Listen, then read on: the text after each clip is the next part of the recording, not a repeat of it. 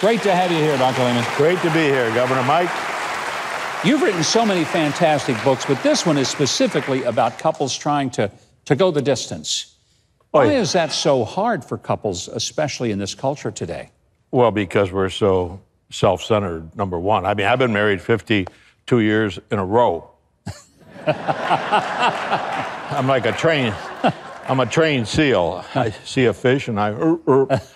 you know, men and women are different. Really? Profound statement. I have never noticed that Right. in my 45 years of marriage. And uh, I can still see my bride, tall, five foot nine inch, pretty lady, and then some, walking down the aisle with those little bouquet of flowers. And I didn't realize till after we were married that there was a rule book underneath there. and uh, she's the firstborn, so she's got a lot of rules. Okay. And I'm the baby, and I've avoided rules most of my life. And whoever said differences attract are right. So men are weird. Uh, women are strange. Uh, you can do it the other way. Women are weird and men are strange, but we're just different.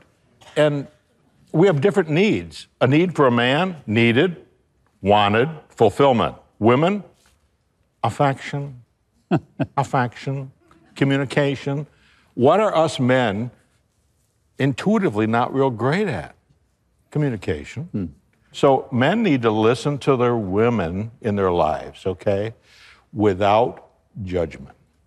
And that's hard for a lot of us as men. So What do you mean by without judgment? Listening, Well- just what? the critical eye, Uh huh. you know, uh, w- men like the USA Today version, okay? Brief, quick, Yeah. condensed. Women are just so different. They're so relational. They hug anything that moves. they go potty in groups of 8, 10, and 12. it's a social event. Anybody want to go potty? I'm going. Come on.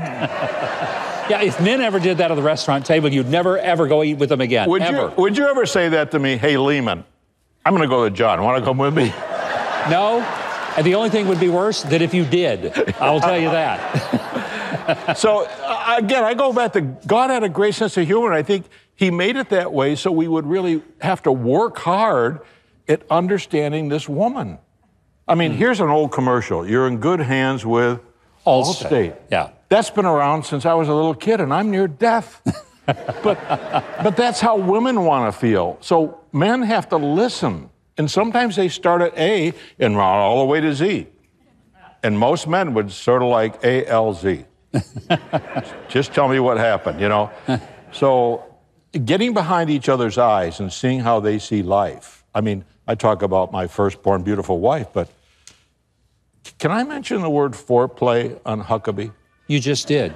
Oh, I did, didn't yeah, I? you just did. Well, in my home, Yeah. foreplay is uh, clean the kitchen, pick up after yourself, make sure you wipe off the counters fully, and check this out put the toaster away.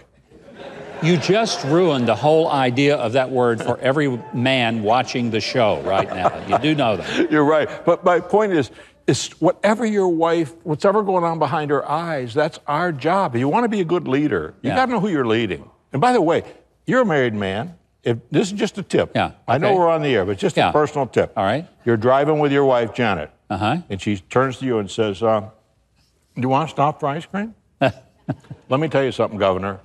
She is not asking a question. You think? Really? Man, no wonder you've been married 52 years, uh, Kevin. yeah, in a row.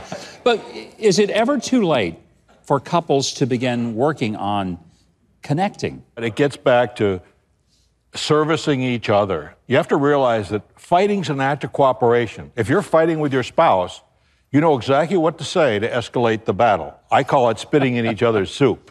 oh, no, honey, you go ahead and play golf, and I'll just stay home here uh, with your mother.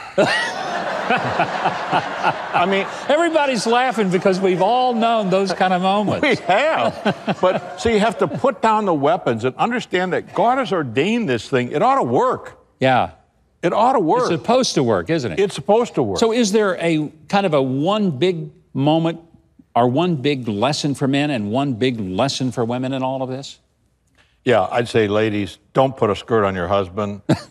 he is not your girlfriend. Hmm. you, you use three and a half times the number of words, ladies, that he does. He specializes in arm's length relationship. But trust me, there's not a man here that wants an arm's length relationship with his bride. He wants intimacy. He wants closeness. He wants to know that he's really wanted by that woman. That'll drive a man. I mean, we're weird. I mean, men are able to watch two ball games simultaneously, eating a pizza in their boxer shorts, uh, belching. Yes. Ladies, this is your gift from God. So realize, Yeah. realize the differences that exist between men and women. And I think praying together, you want to know what's going on in your bride's mind? Pray audibly, listen. Hmm. Very few couples do that. We, the intimate connection is the title of the book, but most couples don't have the intimate connection. Hmm. They live a married singles lifestyle. Wow. Yeah. So it's it's. I'd love to tell you the state of marriage is great, but it's not. You get married today, statistically, seven years later, you're done. Stick a fork in you. That's why your book is so important and your message, The Intimate Connection, so very important. You can find this book, The Intimate Connection, as well as all of Dr. Kevin Leman's other books online at drleman.com. It's also available at birthorderguide.com. You can check out his free podcast as well. Follow him on Facebook at Dr. Kevin Leman, also on Twitter at Dr. Leman.